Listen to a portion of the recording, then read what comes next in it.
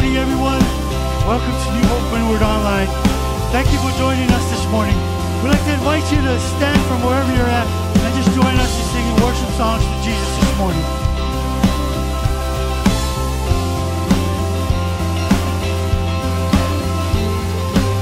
Who breaks the power?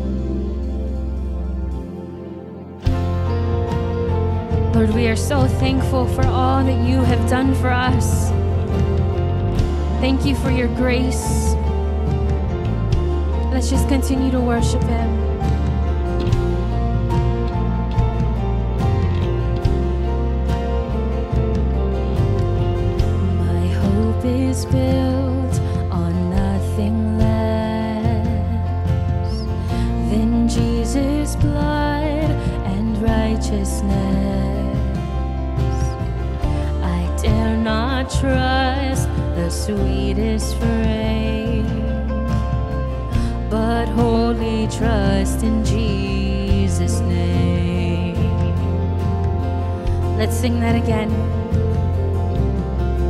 My hope is built on nothing less than Jesus' blood and righteousness.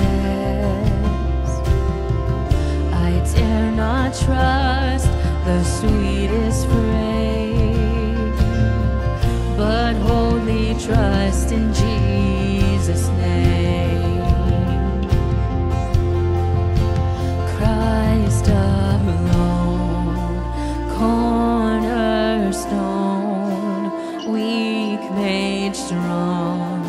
the Savior's love.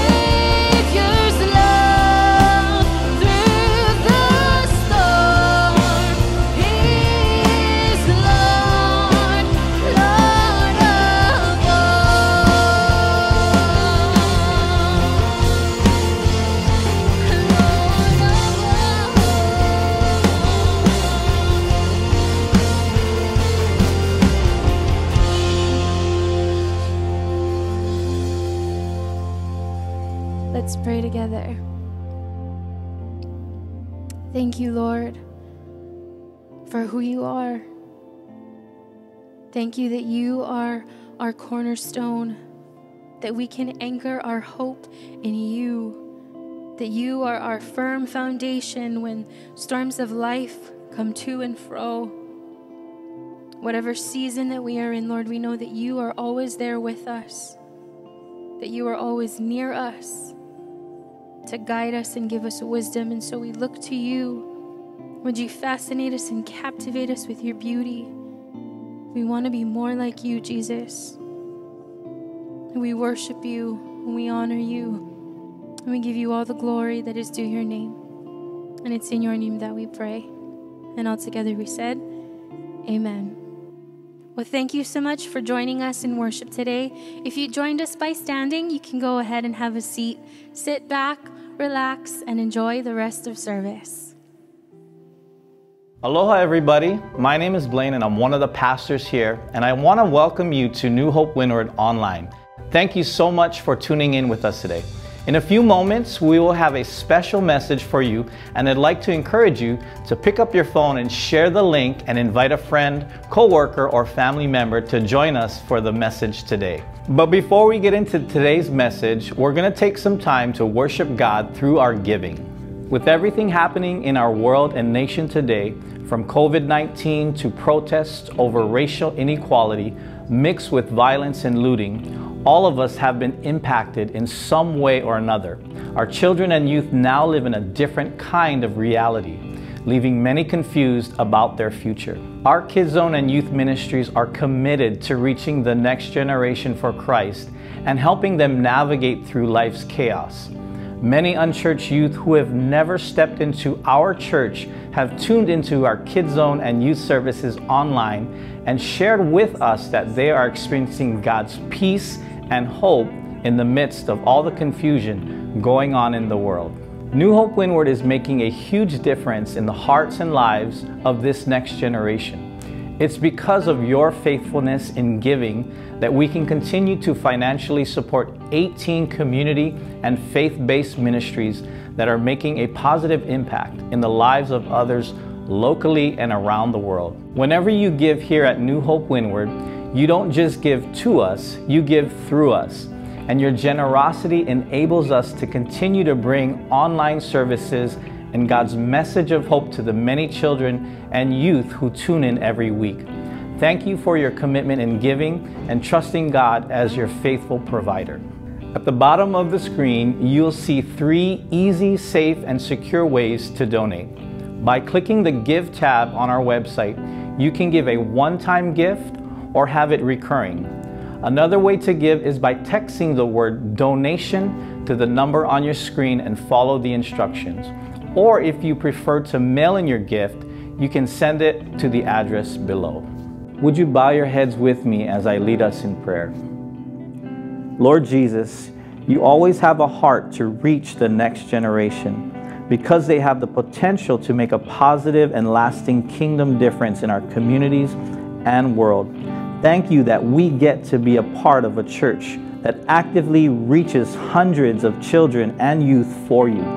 We are grateful for the many in our church who generously and faithfully give so that the hearts and lives of countless youth will be transformed by your power. So take what we give today and multiply it for the sake of your kingdom purposes here on earth. In Jesus' name, amen. Well, if you're joining us for the very first time, we want to welcome you to New Hope Windward online community. We'd love to keep you informed with all that's going on at New Hope Windward. Simply text Starbucks to 484848 and we will email you a Starbucks e gift card as a way of saying welcome to New Hope Windward. I just have a few quick announcements to share. Today we're going to celebrate communion as a church ohana. So be sure to prepare now by grabbing some juice, crackers, and bread. And a little later in the service, Pastor TJ will lead us in taking communion as we thank God and remember the amazing sacrifice that Jesus made on the cross for us.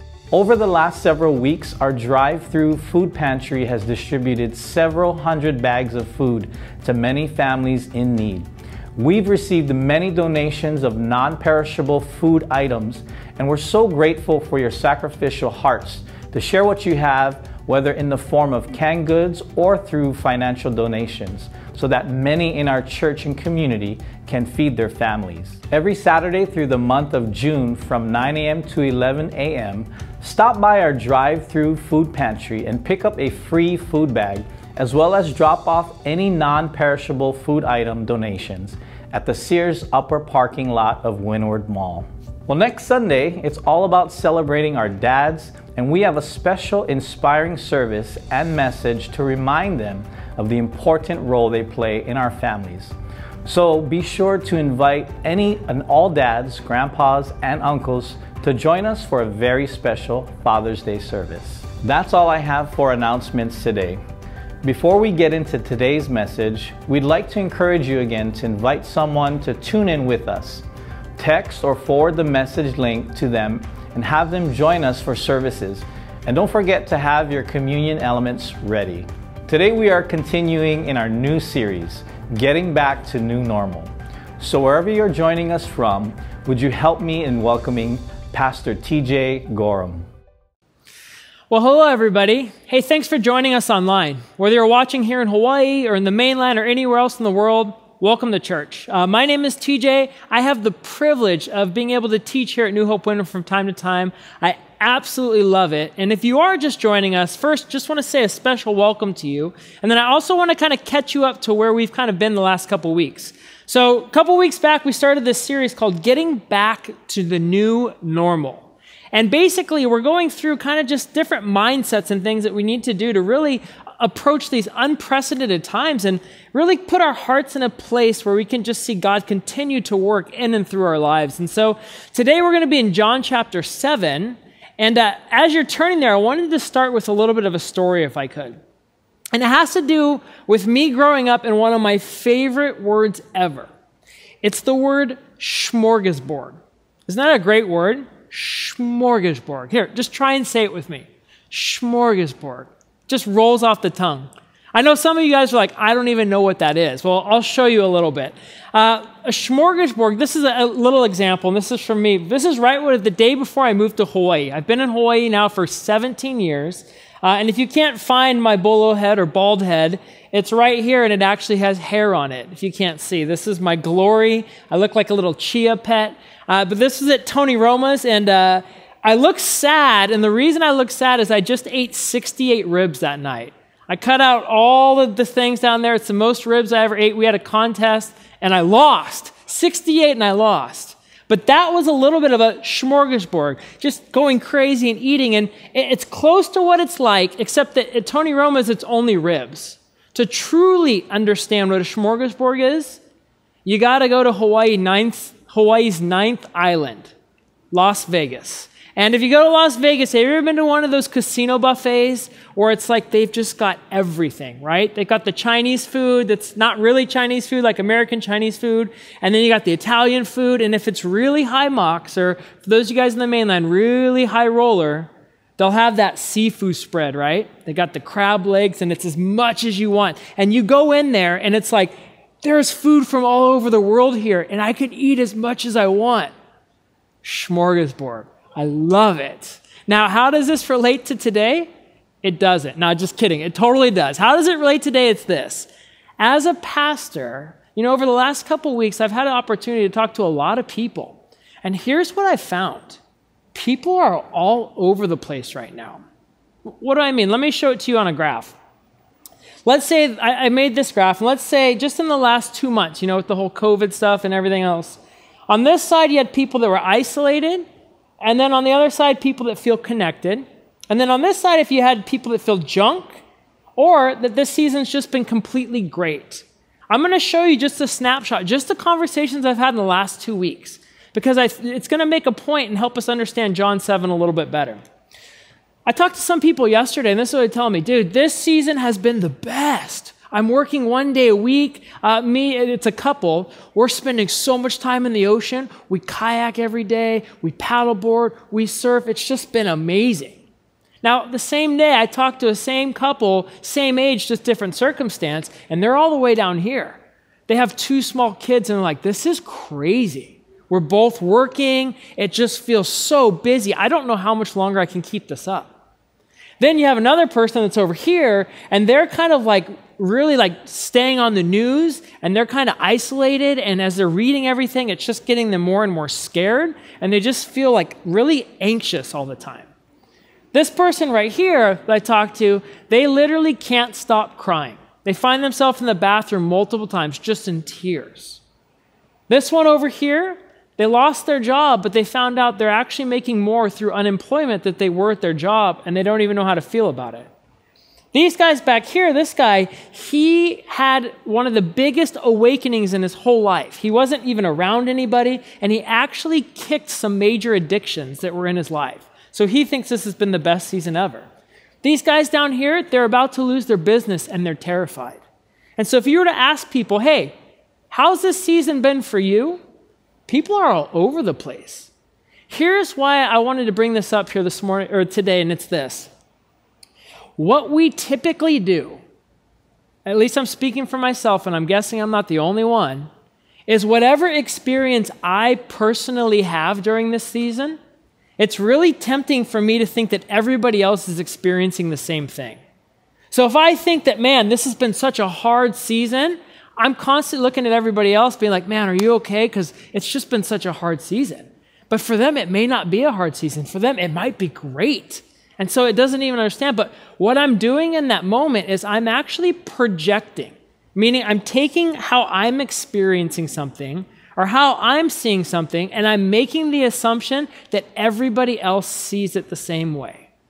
Listen, today, the world that we live in, I don't know if I can remember a time in the last years where there's been so many opinions, so many different experiences, so much division, so many people moving in different ways than I've ever seen. People are all over the place.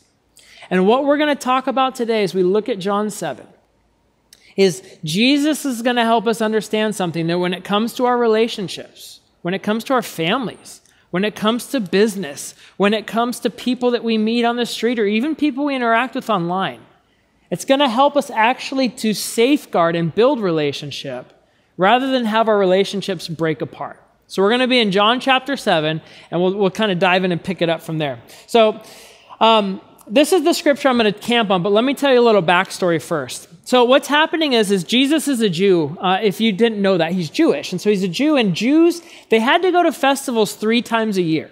Three big festivals. They'd all come to the temple, and this one's called the Feast of Booths. And basically, what it was is they would remember when they were back in the desert in the time of Moses, and they had to build kind of shelters.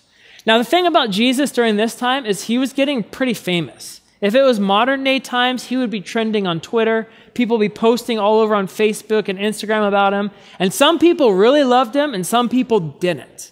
And one of the groups that didn't and that were the most upset, and they're having a conversation with Jesus at this point, was a group called the Pharisees, or basically the religious teachers. And here's what they were mad about what Jesus did is on a Sabbath, which the Sabbath was a day that they said, hey, nobody's allowed to do anything, because that's one of the things God said in the Old Testament. And the Pharisees made extra rules just to make sure nobody did any work that day. But on that day when no one is supposed to work, Jesus went and he actually healed somebody. And instead of celebrating, wow, you actually healed somebody and helped, they were irate. They were so angry. And so they come straight at Jesus. And where we're going to pick it up is we're going to pick it up when Jesus responds back to these Pharisees, because there's a big truth that I think is going to help all of us here today. So, this is what it says Jesus said, Are you angry with me because I made an entire man well on the Sabbath? Do not judge according to appearance, but judge with righteous judgment. Listen, that last phrase, it's just so good. I put it in red. Do not judge according to appearance. In other words, you're just getting so fixated on one thing. You're so focused on your initial understanding of one thing that you're actually missing the big picture of this whole thing. If you could see the whole thing and actually have righteous judgment, then you would understand this is actually a good thing. But you're missing the whole story here. You're missing the big picture. Now, you guys know me by this point. I'm a visual person, so I draw everything out. It helps me make sense out of stuff. Hopefully, this helps you as well. I drew a stick figure person on the computer. Give me a break. It's not very good, but I like it. So, this is my stick figure guy. It's not a bird, it's a stick figure man. He's looking this way. And basically, here's what happens with humans. What we do is we see when we look at somebody else, we can see what someone did, but what we can't always see is why someone did it. So when you look at somebody and you see a situation, something somebody said, something somebody posted, a face they made, you can see what they did. But oftentimes what we miss is we don't actually understand why they did it. Now here's the catch. We, you and I don't know that, and there's a reason for that. Because what we typically do is when we see something, we see what they did and we immediately tell ourselves a story about why they did it. Oh man, that person didn't call me back. You know why they didn't call me back? It's because they don't like me. That's why. They don't like me. I know it. And so we start to tell the story. And here's the thing the story may be true, but it may not be true. The only thing we know for sure is what they did. What we don't know for sure is why they did it.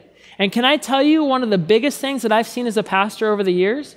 Whether it's in churches, whether it's in families, whether it's on sports teams, whether it's in government, is when people go and they not only just see what somebody did, but they start to make up things about why they did it. Now, I will say this when I say make it up, I don't mean that they're trying to say something that's false.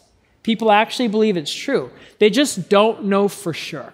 And one of the things that I've seen Satan do over and over and over again is go and take something that's true, what somebody did, and then tell them something false about why they did it and divide relationships right and left. I'll give you a practical example from my wife and I. Um, we've been married for a little bit over a year, and she gave me permission to share this story because it's a huge learning thing.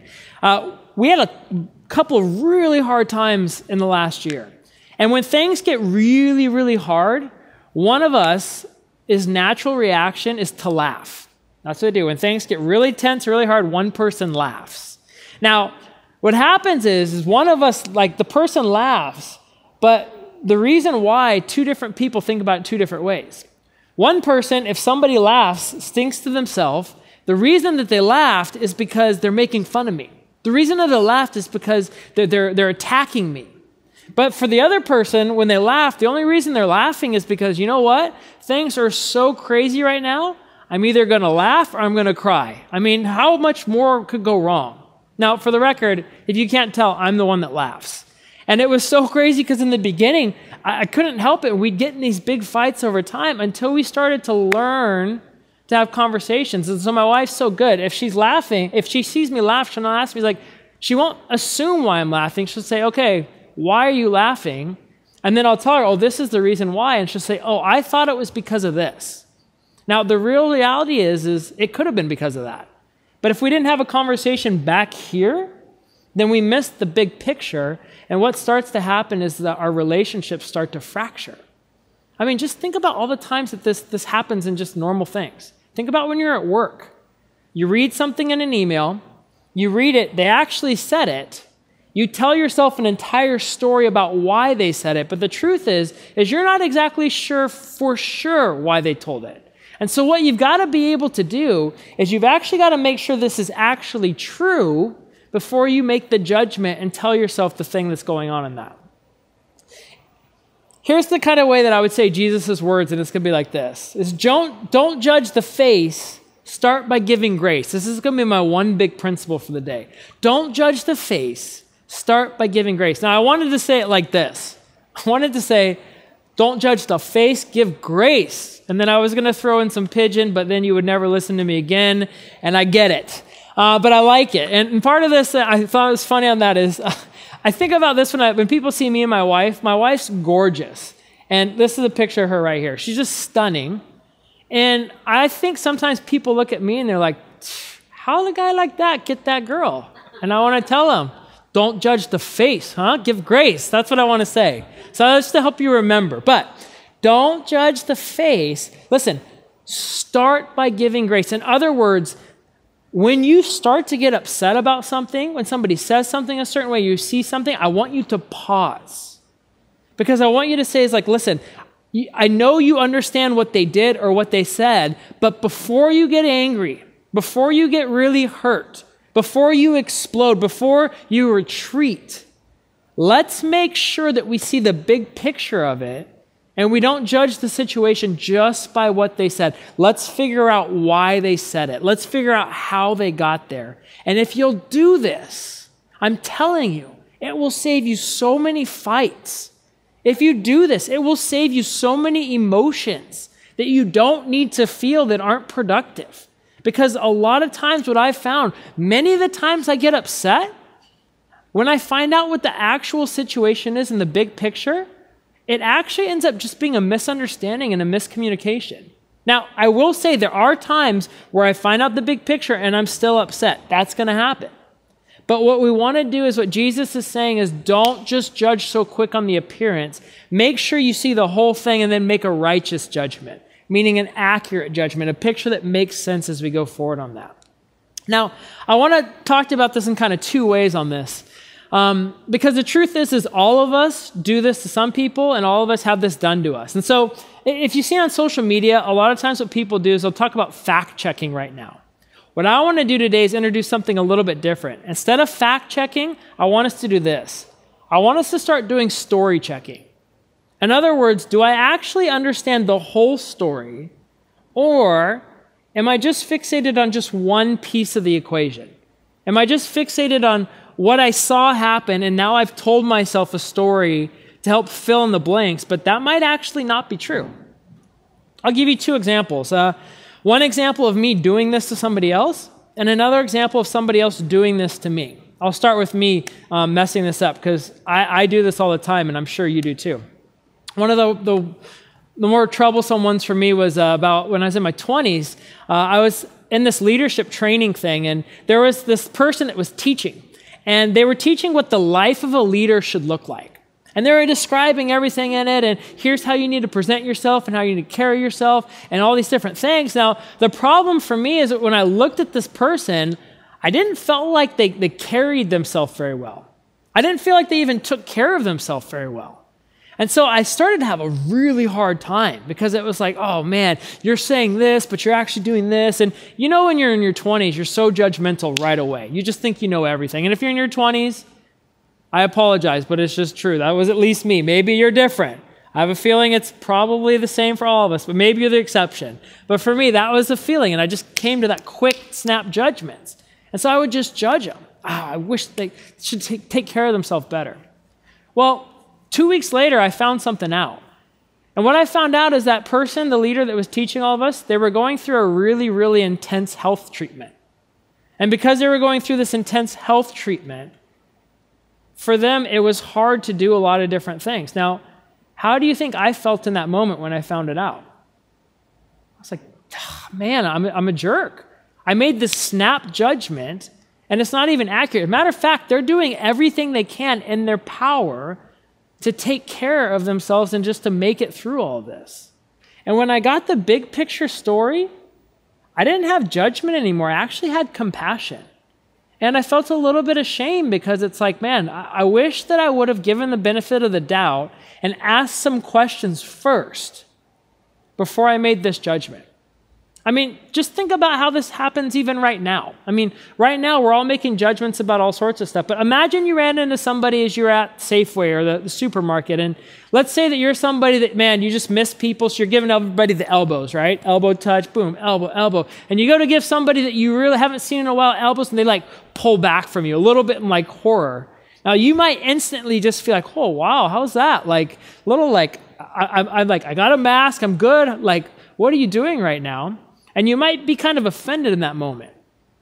But what you may not know is, let's say for that person, maybe it's not even for them right now, but maybe for them, as this is true for some of my friends, they have somebody at home that's at extremely high risk right now. They've got multiple existing conditions already, and if they get sick, a lot of doctors are saying they're not going to make it. Well, when you hear that story and you see that person pull back from giving an elbow, it makes you react a little bit different, doesn't it? Because then you're like, oh, I totally get it. Like, if I was in your situation, if, if I was in your shoes, I would be doing the exact same thing. And see, quite often, that's what we need to be able to do when we're in this whole situation. Listen, things are changing like crazy right now. People are disagreeing how the government should handle things. People are talking about how our state should run. People are going through all sorts of stuff. And before we go to snap judgment, sometimes we just need to pause. We just need to ask a few more questions. Because right now, what I've seen in the world that we live in is people are quick to make assumptions, quick to make judgment. And I just feel like the people of God, that we should be some of the most patient and loving people, being able to say, hey, you know what? Let's give them the benefit of doubt. Let's give them some grace and let's ask a few more questions before we make this kind of snap judgment. Now, I told you a story about me doing that or to somebody, but let me flip it around and tell you about somebody doing it to me, and it happened this week. Um, so, as you know, in our nation, there's been a whole bunch of uh, a lot of tension with the whole uh, racial stuff that's happening and the protests. And uh, for me, it has an interesting place in my heart, and I'll tell you why. Uh, I wanted to show you a couple pictures from my family, and uh, I haven't shown these pictures to hardly anybody, so this is the first time you'll ever see them. And I do want to give you one preface with it. I am not adopted in any of these pictures. So when you see these pictures, this is my actual blood family. So I'll, I'll show you. This is a picture of me and my dad right here. That's my dad. And then this will be a photo, that's my grandpa right there, my blood grandpa, and then my sister. And then this is my blood family, if you can see. Now, if you can't tell, if you look at this picture, I have by far the lightest skin tone of my entire family. My entire family. So my grandpa's 100% black, my dad's half, and I, believe it or not, am 25% black. They're saying, You're kidding me. Where'd it go? I said, I know. I don't know where it went either. Actually, I do. It was in my hair, but I cut it off, so it's gone. But the reality is, is for me, this whole thing's been interesting because I, I ran into somebody this week and they, they come from a really small town in the mainland. And they were explaining, I just had no idea. Like, you know, like people like me and you, we just don't know. And I kind of laughed a little bit because it's like, it's true. Where I was raised, I was treated like I was white because look at my skin. I would treat me like I was white. I mean, for Hawaii, I look like a military, don't I? That's just the nature of it. But the reality is, is like, I actually know some of the stories. Like, my grandpa and grandma, they weren't allowed to get married. When they rode the bus together, they had to sit in separate sides of it. Like, my mom and my dad got so many different things happening to them. And so sometimes people think, like, oh, just because of the way I look, that I don't know any of the stories on that. It's like, that's actually not true. And so as we talk through this stuff, it's like if they would have just asked me some questions, then I'd be able to share a little bit different. But a lot of times people just start and they look at me and they assume one thing and they make a judgment. Now, when people do that to me, you know what I do? I put them in their place. No, I don't put them in their place. What I do is I say, I totally understand because look at me. I get it, you know? And honestly, I judge people too. And honestly, when I make fast judgments, usually my judgments aren't right. Because that's just human nature, guys.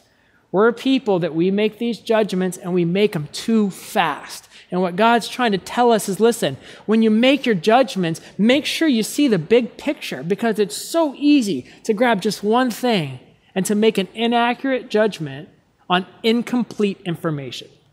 So here's what I want to say on the other side of this, too. Jesus said in another place, Do to others whatever you would like them to do to you. This is the essence of all that is taught in the law and in the prophets. Here's the thing about judgment. I know that for me at least, and I know this is true for you, don't you hate it when people misunderstand you and falsely judge you? Don't you like, I can't stand that. I'm like, why didn't you just ask me a question? Or if you would have just come to me, like, I, I didn't mean that. I, if you would just ask me, it's like you misunderstood the whole situation. And the reality is, is we hate when people do that to us but our nature is actually to do it to each other. If I could say it another way, I'd say it like this We judge other people by their actions. Nope, this is what you did, this is what you said, this is what your face looked like, but we judge ourselves by our intentions. No, no, no, that's not what I meant. Here's my heart in the matter. Jesus is saying, hey, listen, you know what? You want to get this all right? Treat other people the way that you wish that you want to be treated. So if you want to be judged by your intentions, in other words, people ask questions, get the big picture first before they make a judgment, then what he's saying is that's what we need to do for other people. We need to be able to do that. So I want to start to close by just giving us a couple practical ways to do that. So here's my story checking challenge. This is what you're going to do this week. Every time you feel upset, every time you see something and you're, you're ready to either like, um, you know, make a, make a statement about it or to maybe like react to it or maybe you're like to run from it, whatever it is, I just want you to pause and here's what I want you to do. I want you to ask two questions to confirm the big picture story, the why, not just what they did, but why they did it before you make a judgment. Two questions. And you can practice. I guarantee if you're married, you can get plenty chances to practice. If you're working somewhere, you can get plenty chances to practice this. But before you make this judgment, ask two questions. I'll give you some examples of questions you could ask. Stuff like this so if somebody says something rough to you, you could say like this Hey, you know, I'm not saying you're saying this, but what I hear you saying is, and then just mirror it back them. You know, I'm not, I'm not saying you're saying this like that you're thinking I'm not pulling my weight, but what I'm hearing you telling me is it sounds like you're saying that you're frustrated. And then, is that true? Not in the tone. You say, you know, is that true? And you got to be humble when you do it because basically you're saying it's like, I'm offended by what you're saying, but before I get offended, I'm going to actually make sure that's what you're saying. And so I'm going to do that. Or another way you could say it is this You know, I could totally be off. So you're owning, I could totally be off. But the story I'm telling myself in my head right now is this Is that right? So, whatever the situation, so maybe this one you could be at home and uh, something happened where maybe somebody came and they didn't communicate. And they, they didn't tell you when they were going to be back, and it felt very insensitive, and you're, you're upset. And you'd say, you know, I could totally be off, but the story I'm telling myself in my head is that, you know, you don't really, it didn't really matter to you what I was doing. Is that right? Like, is that what it was? And they said, oh, I just lost track of time. I'm so sorry. I totally care. It'll clear the whole thing out. Two other examples of this, and the last one's pretty simple. So this is, you know, I don't want to come to an unfair conclusion, but can you help me understand your perspective more? This is a great one for work. If you just tell people, even like this, tell me more about that and how you got there. If you just start asking people questions, and here it is listen before you judge, it's actually a huge, huge game changer. So, two things that are going to be helpful in this is this you got to watch your tone. My wife is the master of helping me do this. And you got to come in humble because there's a huge difference between, like, hey, what were you thinking? And hey, what were you thinking? Same words, completely different tone. You know what I mean? And so you just get into a place where you watch your tone, genuine, genuine question. Force yourself to be genuine. Hey, can you just tell me more about that? I'm not sure. Is that true? Is that what you were thinking? Is that what you actually meant? Tone, critical. And then humble. Humble meaning that I could be wrong. Hey, I'm not sure about this. Hey, I'm just telling myself in this thing, I'm not sure if it's actually right. When you do that, that's different than, hey, this is what I think you're doing right now. Like, what were you thinking? You go in there, boom, relationships are going to explode. Before we make a judgment, step back.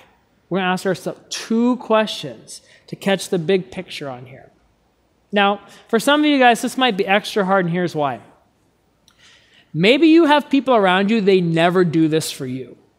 They never give you the benefit of the doubt. They're always judging. Maybe you're at a work and it's like, boom, everybody's always nitpicking on that. Listen, it can be so tempting to just treat people the way that they treat us. But the reality and the reason that we can do this as Christians is not because we, we base our actions on how other people treat us. The scriptures say we're actually supposed to base our actions on how God treats us.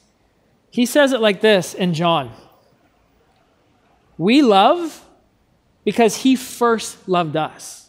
Listen, when we were God's enemies, when we didn't want anything to do with God, when we were like judging God or hurting God or doing in that kind of space, it says that God still loved us even in the middle of that. Matter of fact, it says he loved us so much that he sent his, his son to die for us. Romans 5 8 says that he sent it to die when we were still yet sinners. In other words, when we didn't do anything right towards him, he just treated us with kindness, with grace, with gentleness. He went first. And because he went first, listen, that gives us the strength to now, listen, God went first for me. I can go first for our relationship. I can go first for our marriage. I can go first at work. I can go first with my relationships with my kids, even if it's been estranged for years. I can go first with my um, in laws, or I can go first with some of my extended family, even though we've had tension for so long. I can come in, I can come humble, I can ask some questions to understand the perspective first. Because, man, God did that stuff for me. God took the first step for me. You know, today what we're going to do is we're actually going to go back to remember what Jesus did for us, and we're going to be celebrating communion. If you have your bread with you or your crackers and your juice, you can take that out right now. But I tell you what, every time that, at least for me, when I get off in my life as a Christian, one of the reasons that I get off is I lose track of what God's already done for me. I lose track of what Jesus has done on the cross. And when you just can come back to that reality of like, Jesus, somebody who did nothing wrong, literally lived a perfect life, was nothing but love. And then he laid down his life for us before we ever asked him. I mean, it's just incredible. It just builds this compassion and it centers us back because that's the example we're meant to follow. We're meant to follow him the way that he was able to lay his life down for us. Is now he asks us to do the same for others. And listen, when you start laying your life down in that same fashion, it's the craziest thing, but life actually starts coming. There's a grace that takes care of your heart. There's a grace that takes care of your mind. There's a grace that will come and take care of your family. But it starts with us being able to center back and to understand what he did on the cross. And so on the night that Jesus was betrayed, it said he gathered friends, uh, his disciples. They went into a room around a table, and he took bread. And if you have the bread with you, you can take it, and you can break it. Because it said he broke it. And what he said is, This is my body broken for you. He says, Whenever you eat, I want you to remember. And listen, if you're watching this, especially if you're new, the reason we're right with God isn't because we make good decisions. It's not because we figured out how to do everything right and we've got this moral code down. The reason we're made right with God is because Jesus paid the price for us. He's the one that did it. We couldn't do it for ourselves. And so when you break the bread, I just want you to remember and to come back and even in your own words to say thank you in some way to God because He paid the price for you and He paid the price for me. So take a moment, say thank you to God, and let's eat the bread together.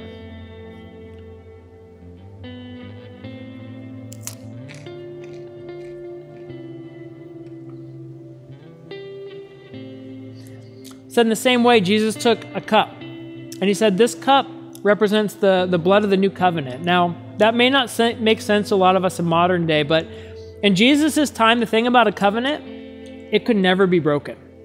It always had to be sealed with blood and it could never be broken. And one of the great things that he's saying is because of what Jesus did on the cross, you are connected to God now.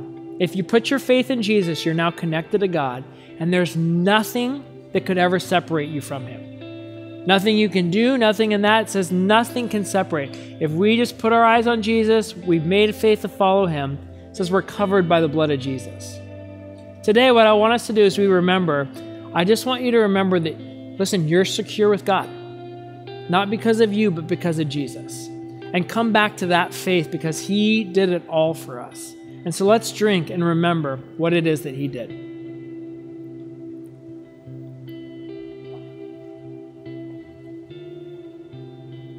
Would you bow your heads with me as we close in prayer?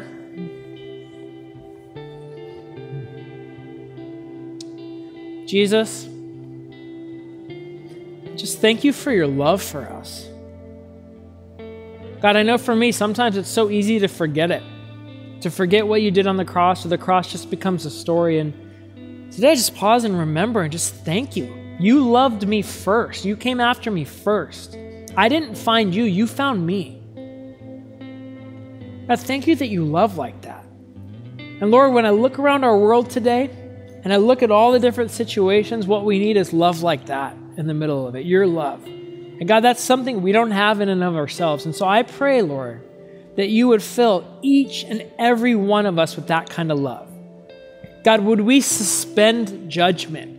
Would we refuse to get caught in the enemy's lies of just locking in to just a little bit of a piece of information and not seeing the big picture?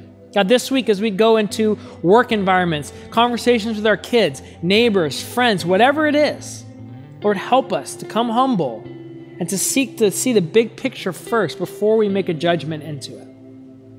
And God, would you help us every time it happens to be able to just press into you in that moment and just really ask for your love to flow through us because we need it, God. We can't do it on our own. Also, we just wanted to just pray for anybody here today. And, you know, you might be watching this and maybe you're not a Christian. Maybe you've never put your faith in Jesus. And one of the things that we love to make it a habit here at New Hope Windward is just to give you an opportunity to do that. It's the most important decision you'll ever make. And the mistake that a lot of people make with this decision is they think they need to get themselves perfect before they come to God. But what they don't understand is God loves you just, just as you are. Like you don't need to be perfect before you come to Him. All you need to do is be able to say, you know what? I want to make a change.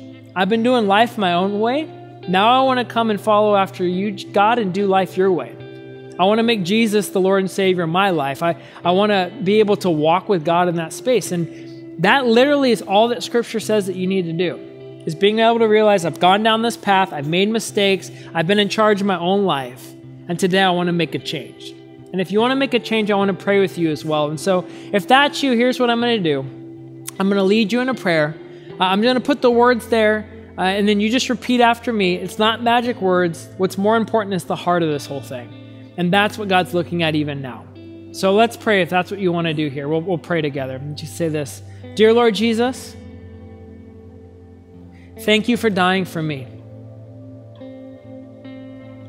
I know I've made mistakes and I'm sorry.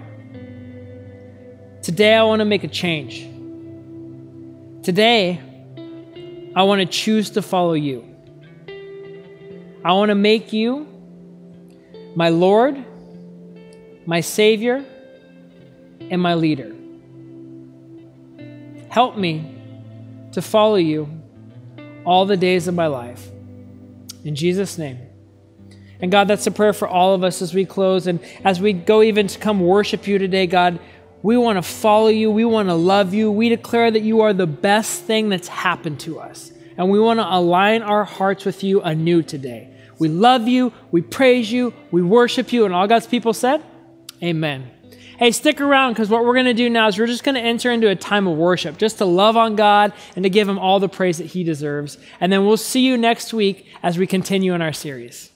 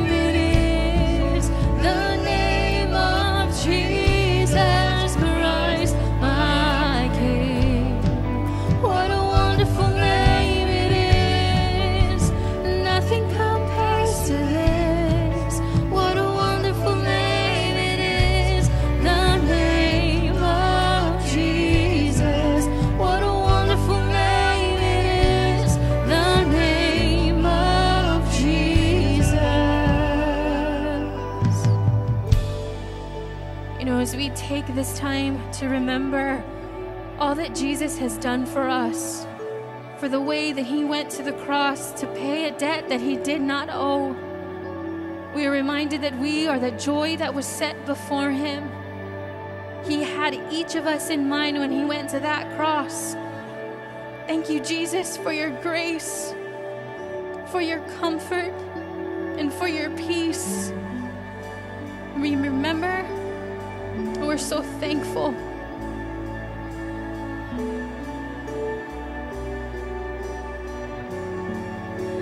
Death could not.